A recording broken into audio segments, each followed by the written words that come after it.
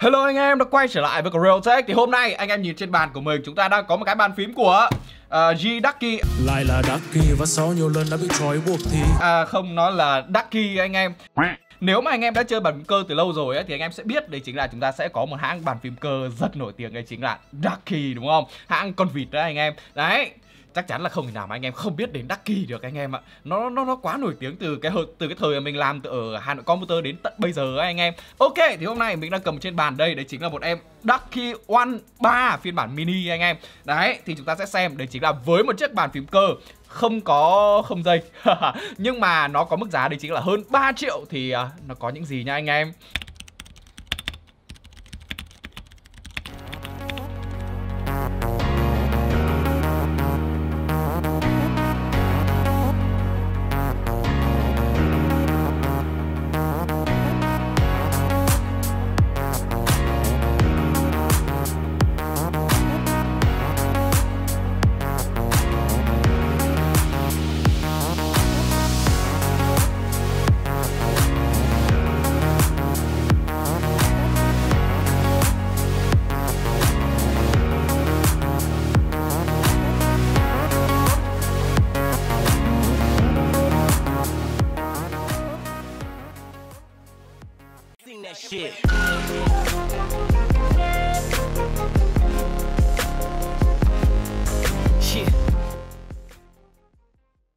Ok, mình đã quay trở lại rồi đây anh em. Thì em Ducky One phiên bản thứ ba. Đấy, nó đang nằm ở ngay trên bàn của mình đây anh em ạ. Thực ra đối với cái Ducky One phiên bản thứ hai và phiên bản thứ ba Thì phiên bản thứ ba nó sẽ cải thiện ở một số chỗ. Ví dụ như là nó có hot swap này Rồi là nó cải thiện ở cái độ trễ này Rồi các thứ thứ bla bla Nhưng mà nói chung thì bây giờ anh em mua đời 3 thì mua đời 2 làm gì nữa đúng không? Ok, thì bây giờ chúng ta sẽ cùng đánh giá em đời 3 này. À, Cái mình muốn show ra đầu tiên cho anh em ở đây Đấy chính là âm thanh và cảm giác gõ của nó như nào bằng việc đấy chính là anh em hãy xem qua đoạn video này nhá.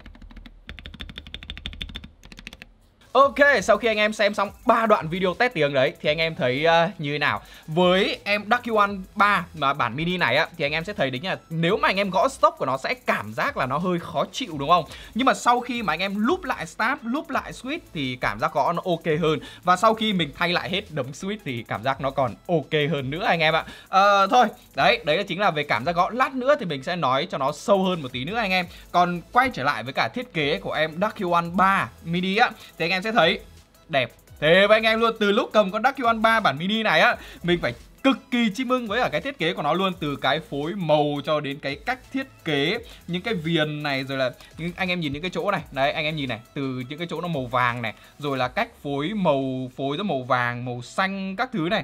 Rồi mặt đằng sau này, chúng ta sẽ có một cái logo này, phần fit hai tầng à vâng, phần chân nâng hai tầng này.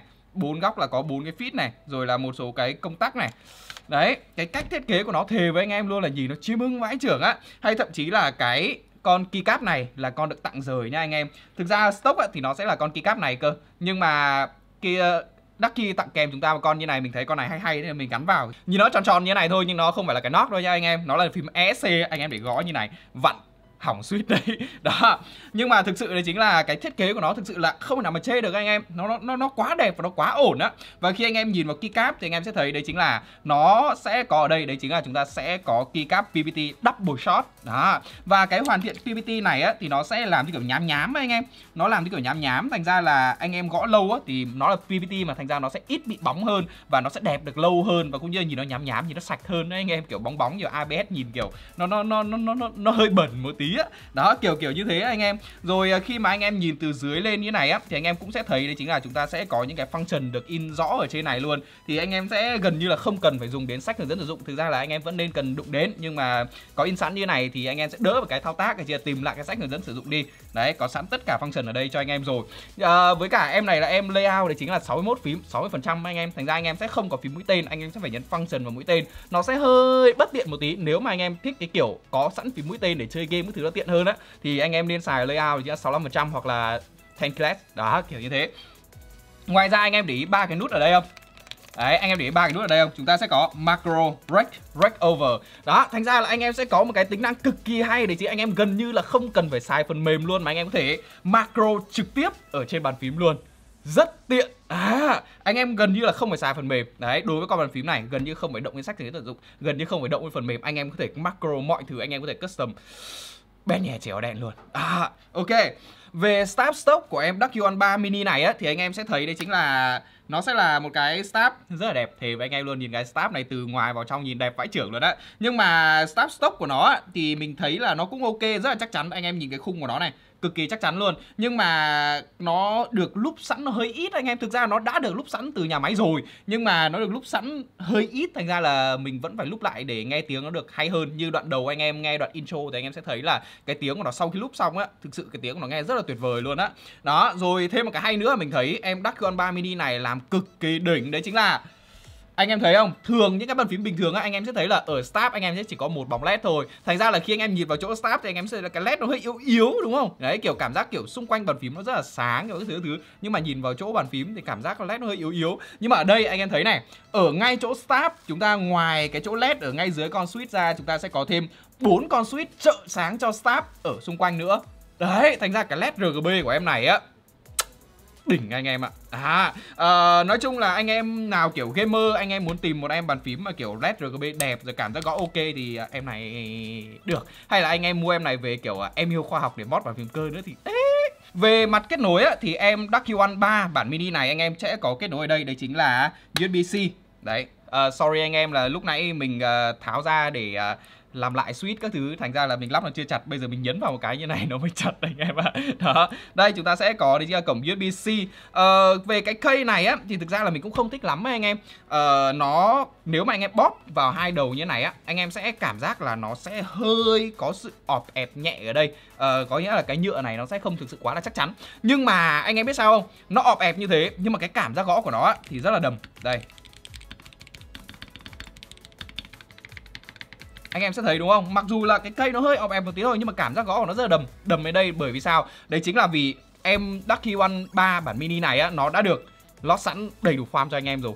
Từ form đáy cho đến form PCB các thứ là đầy đủ hết luôn. Và khi mà anh em mở cái mạch của con này ra anh em sẽ thấy một điểm nữa đấy chính là mạch của em Ducky One 3 này á nhìn nó siêu xịn và siêu đẹp luôn anh em. Nó là mạch ờ, uh, đua layer đó. Và cái chân socket để chúng ta có thể hot swap ấy nó màu vàng ấy rồi là có logo của Ducky ở trên đấy kiểu nhìn chí mừng mai thề với anh em luôn là mình chưa nhìn cái uh, thực ra chắc là do mình ít xài đồ xịn. Nhưng mà thực sự đấy chính là mạch của con Ducky One 3 mini này đẹp vai trưởng luôn thề với anh em luôn anh em cứ mua về mở ra mà xem. Mà nó mở nó cũng rất là dễ anh em chỉ cần mở bốn con ốc ở trên này là anh em đã có thể mở được ra rồi. Mở siêu dễ luôn. Mà mà nhìn cái mạch của nó siêu đẹp luôn.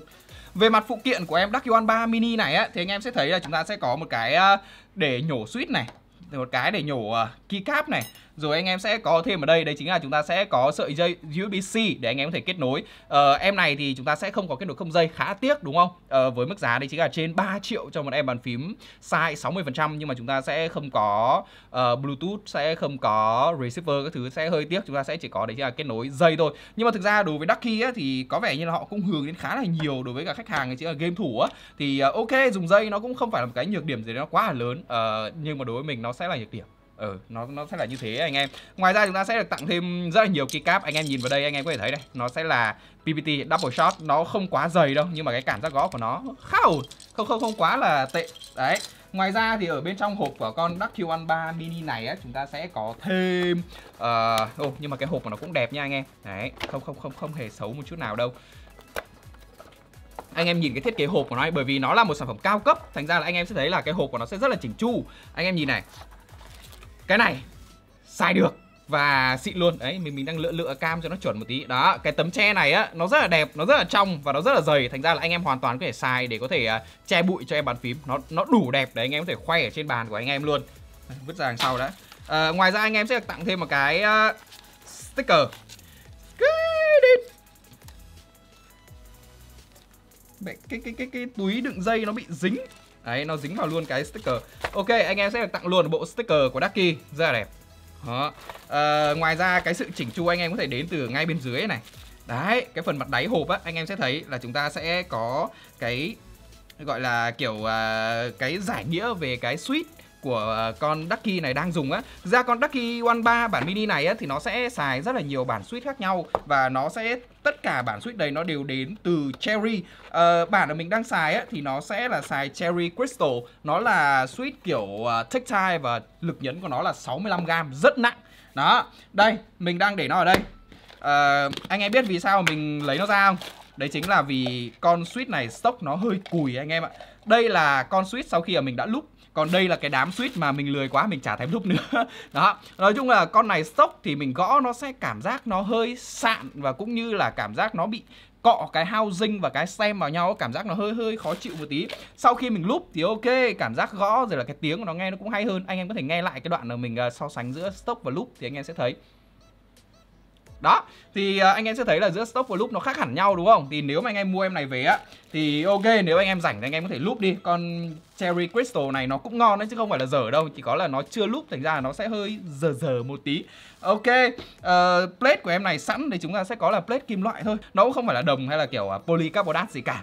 Đó thì cơ bản em uh, Ducky One 3 mini. Này nó sẽ là như thế. Mình tham khảo ở trên một số kênh review nước ngoài ấy, thì mình thấy em này nó khá là nổi tiếng. Anh em xem những kênh ví dụ như là Optimum này Rồi là chúng ta sẽ có mấy kênh nữa. Làm video về em này toàn mấy trăm nghìn view thôi Nhìn xịn vãi trưởng luôn đấy anh em. Ờ, Nhưng mà mình không hiểu sao thì em này ở Việt Nam kiểu hơi hơi ít ít kiểu truyền thông á. Thì ok hôm nay mình làm một video đánh giá như này cho anh em. Một em hàng ngon của bên nước ngoài khi mà vác về Việt Nam á thì nó có thực sự ngon này không thì anh em sẽ là người tự đánh giá nhá. Qua những cái đánh giá của mình ví dụ như là thiết kế này rồi là tính năng này rồi là kiểu có macro trực tiếp ở trên phím các thứ này rồi là anh em nghe sao test của mình các thứ thì anh em sẽ thấy là đối với mức giá trên 3 triệu thì như này nó có ngon không anh em? Anh em hãy tự đưa ra đánh giá. Còn uh, mình sẽ chỉ uh, đưa ra những cái ý kiến của mình thôi. Ok, ý kiến anh em như nào thì hãy comment phía dưới nhé Đừng quên like, share và subscribe để ủng hộ Real Tech Và sẽ lại. Xin chào và hẹn gặp lại anh em nhé